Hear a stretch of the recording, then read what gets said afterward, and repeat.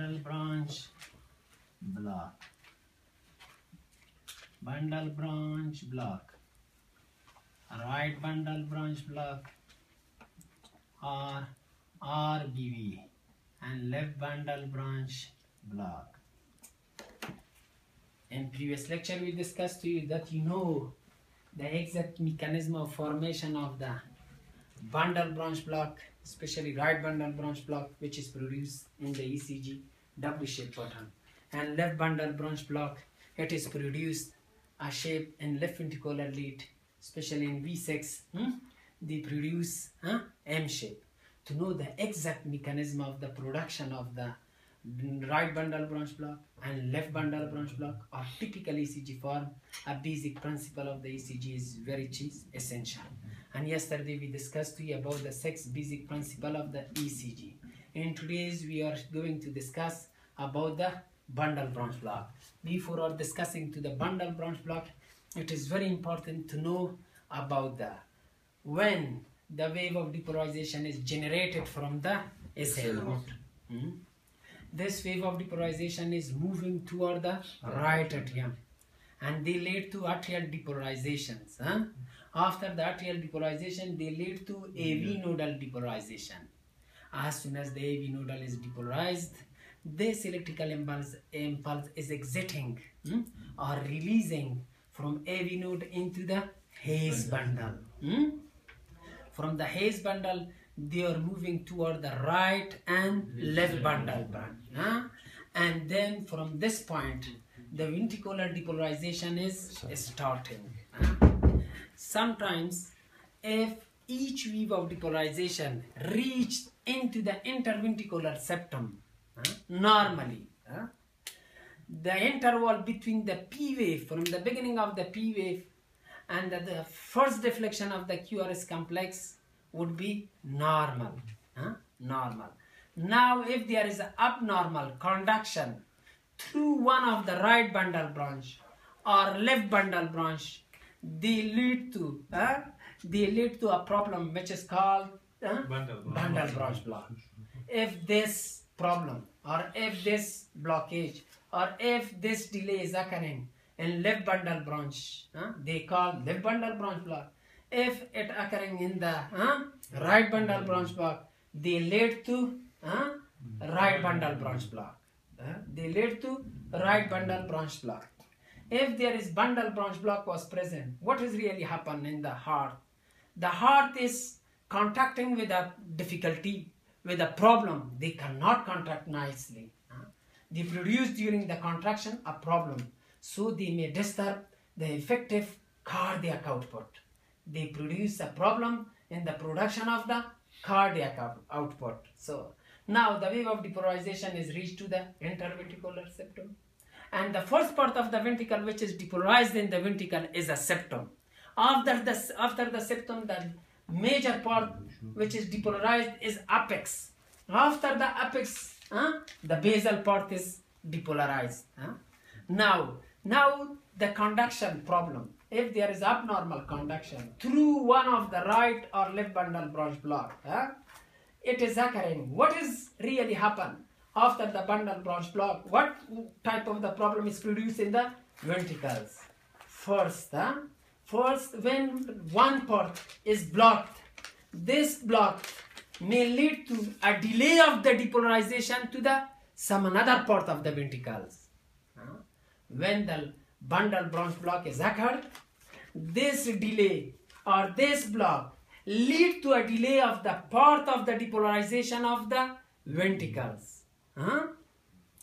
And when whole ventricle is depolarized, it takes longer times. If there is a bundle branch block is present, this bundle branch block is lead to delay of the part of the depolarization of the one of the ventricles. So when whole ventricle is required for their depolarization, a time duration for the whole ventricular depolarization is take much longer time. So that they lead to widening of the QRS complex. So a key pattern or the exact mechanism or the ECG pattern of patient who is having bundle branch block is a widening of the QRS complex. Mm-hmm. Now I think you understand the mechanism of production of the QRS complex. Normal duration of the QRS complex is less than 120 millisecond or less than 112 second huh? or it's representative of three small squares or sometimes it may reach up to huh? Up to four or five squares but not more than 0.12 seconds so if the duration of the QRS complex is become prolonged it means this patient is having huh? wide QRS complex and wide QRS complex is a key point or the key feature of the ECG of bundle branch block is wide QRS complex. Is a wide QRS complex. Is a wide QRS complex. Now, if the wave of depolarization is starting from right bundle branch block and reach to the farthest part of the ventricular myocardium, it takes a time duration uh, 0.12 seconds. If this time duration is becoming chi prolonged, it lead to bundle branch block. The ECG pattern of bundle branch block is a wide QRS complex. Huh? Is a wide QRS complex. If you will check or you will take the ECG of the patient and then you want to interpret this ECG of the patient, first of all you should care about the, the duration of the QRS complex. If the QRS complex is having a duration less than three small squares, it indicates this patient is having a normal QRS complex. They does not show any bundle branch block in right and left. If the QRS complex duration is becoming prolonged than the normal, it indicates bundle branch block. Mm -hmm. So sometimes just this bundle branch block cannot be lead to or, or does not lead to wide QRS complex. The wide QRS complex may also occur in those type of people in which the wave of depolarization begin from the ventricular myocardial cells. So the, the, the causes of the wideness of the QRS complex are divided into categories. One is bundle branch block. The second, when the rhythm huh, begins from ventricular myocardial cell. For example, ventricular tachycardia. Ventricular tachycardia, we have got this type of. This is also indicate wide QRS complex. Huh? Wide QRS complex but this time it does not indicate bundle branch block and this time the ectopic beat is starting from the ventricular myocardial cell when the electrical impulse is generated from the ventricular cells and the ventricular cell is originate the ventricular depolarization they may also lead to wideness of the QRS complex and it does not indicate bundle branch block. So wideness of the QRS complex is having two sources. One is bundle branch block, another if the origin of depolarization is starting from the ventricular myocardial cell. This is a point that we should care during the interpretation of the chi, ECG. interpretation of the ECG. Now, again, the right bundle branch block, right bundle branch block is often indicate, is often indicate a problem of the right ventricles. Right, right bundle branch block is often indicate a problem. Right bundle branch block right bundle branch block huh, is often uh -huh, is often indicate hmm, indicate of right ventricle problem huh?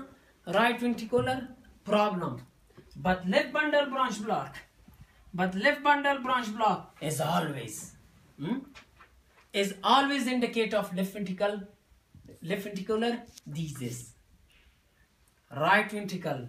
Right bundle branch block is often indicate a right ventricle problem, but left ventricle, left bundle branch block is always is always indicate left ventricular diseases. Huh?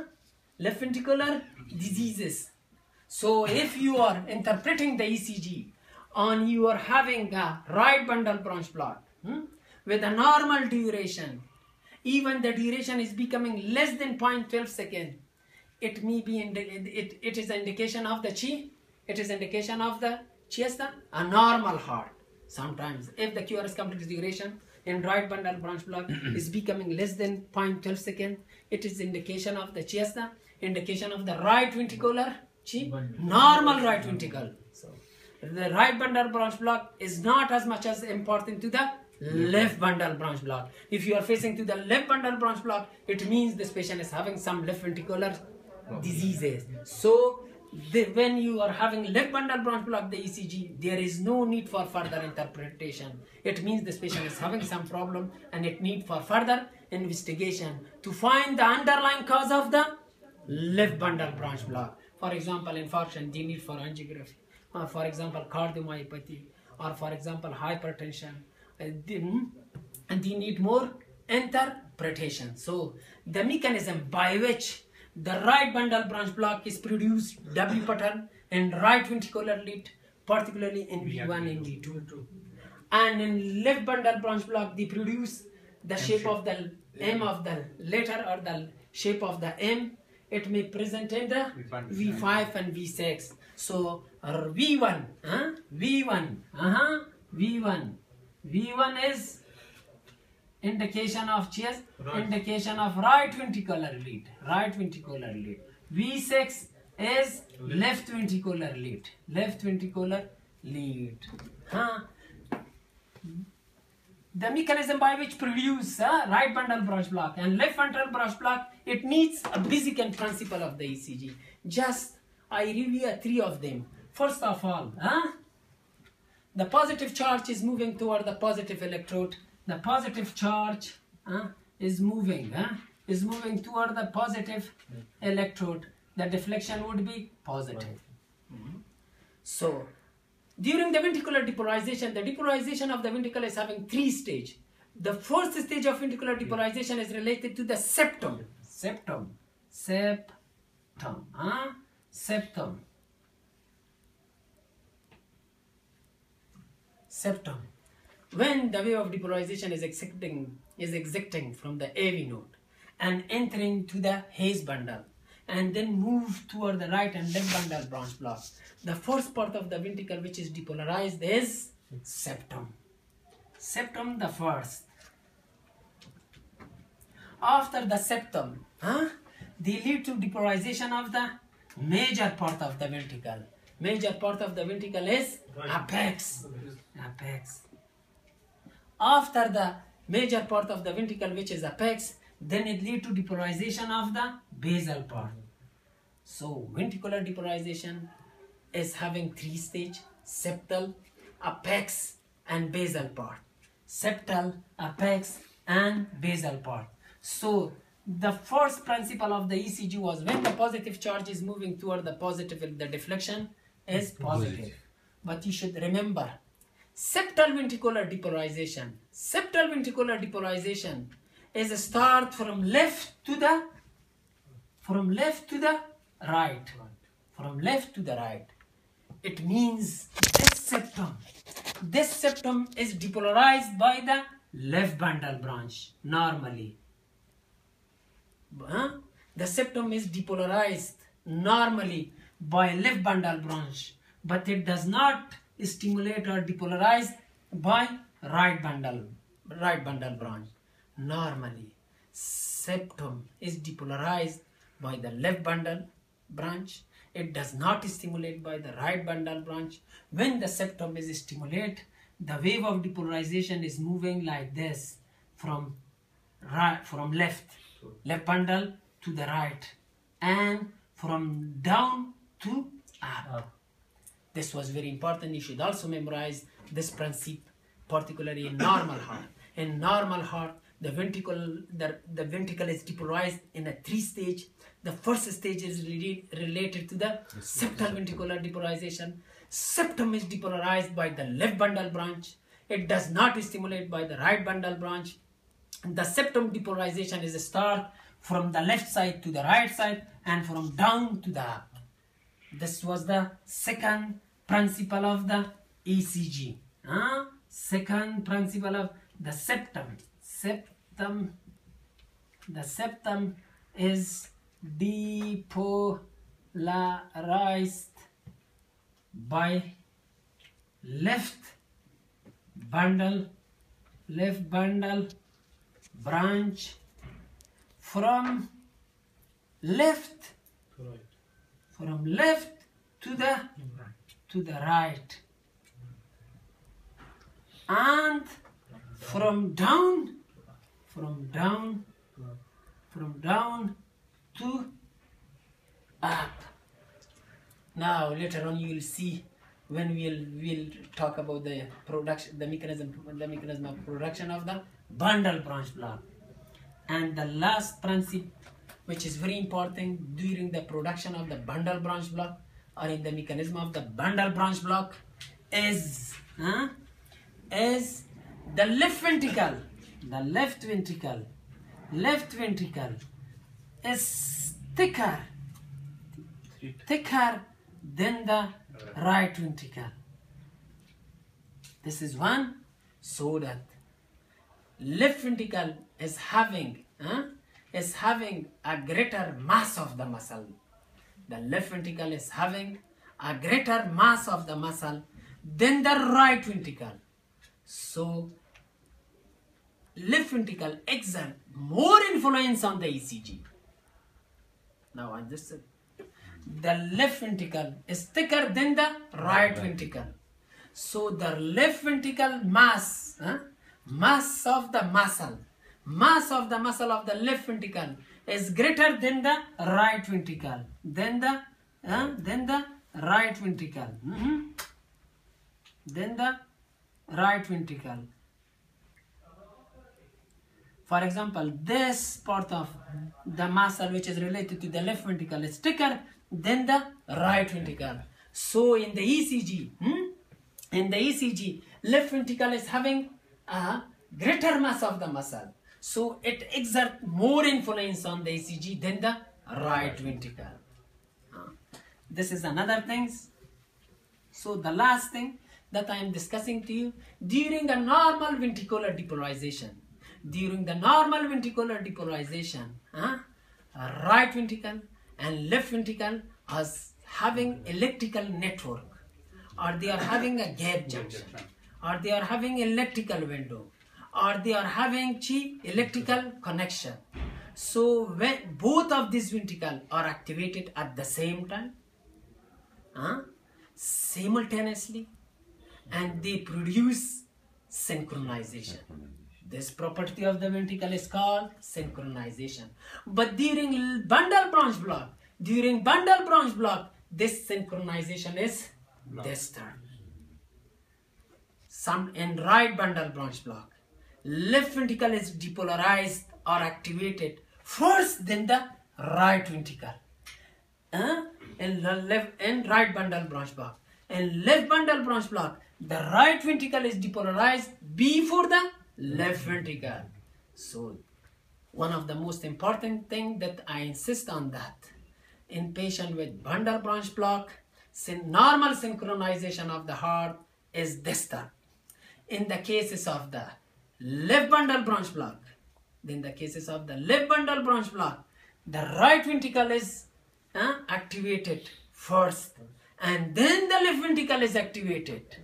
In the cases of the right bundle branch block, first the left ventricle is activated and then the right ventricle is activated. It means synchronization is disturbed. Both ventricle is not activated at the same times and simultaneous contraction of the ventricle is disturbed. This is another principle that we should know when we are discussing the bundle branch block. That is, uh-huh. This was a three or four basic principle which is very important during formation of the ECG pattern of the right and left bundle branch block. Now,